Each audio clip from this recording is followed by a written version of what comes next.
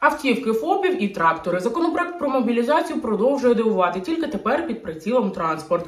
У запропонованому законі про мобілізацію йшлося про можливість вилучення транспорту у підприємств на потреби ЗСУ. Проте норму пропонують розширити. Якщо раніше мова йшла тільки по е, юридичні особи про підприємства, у яких вилучали транспорт, то тепер е, уже е, також додалися фізичні особи підприємці.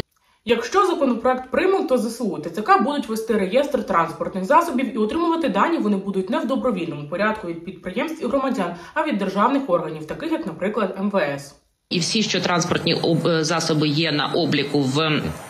е, В цьому реєстрі вони не зможуть бути проданими, закладеними, а також пересуватися між областями. Це дуже чесно контроверсійні взагалі пропозиції.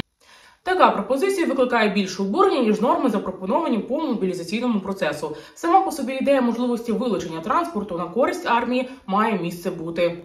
Але розширення дії закону на фізичних осіб підприємців фактично дозволяє у людей забирати легкові авто і трактори. Правильний механізм, щоб у, людей, е, яких є один транспортний засіб, мова про вилучення взагалі не повинна стояти. У підприємств, які е, мають парк, скажімо так, машин, які підходять ЗСУ, це повинно бути не більше, на мою думку, 30% парку.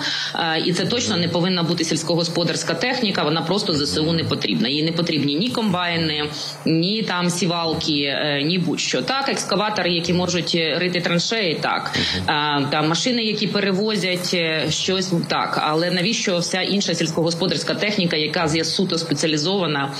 Законопроект про мобілізацію вже прийнятий у першому читанні 7 лютого. Реформує концепцію військово-транспортного обов'язку і робить його набагато жорсткішим, особливо враховуючи можливу заборону переміщати транспорт по Україні і продавати його.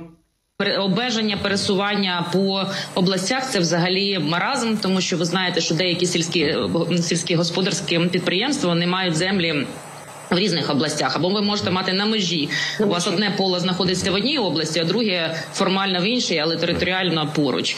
Е, Але техніка ну, не зможе переїхати на сусіднє поле. Ну тобто є багато дуже питань, е, які скоріше будуть викликати соціальні, е, скажімо так, негаразди, ніж якась користь для ЗСУ. Точно мається на увазі, достеменно невідомо. Механізм в законі не прописаний, і це велика проблема.